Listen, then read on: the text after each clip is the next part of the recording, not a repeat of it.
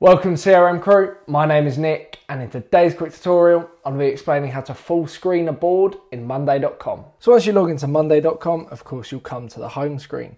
Now in order to full screen a board what we firstly need to do is go over to Workspaces. So go to Workspaces in the top left hand corner and then select the board that you'd like to full screen. I'm going to use this board as our example today. Then we need to go to the three dotted button in the far right hand corner Press that and then go to more actions down the very bottom.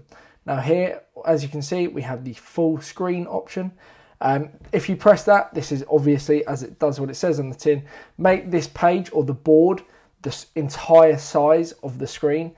And a good use case of this might be if you've got a TV as a inside of the sales department um, and you want to track the leads coming in, for example. If you press that, I'm not going to because it it will ruin the uh, screen recording, but it will take up the entirety of the screen. And then to exit out of it, just press your escape key and that will leave the full screen um, setting. And that is how to full screen a board in Monday.com. I hope this video has clearly explained how to full screen a board in Monday.com. If you do have any further questions, please drop me an email. My details are in the description below.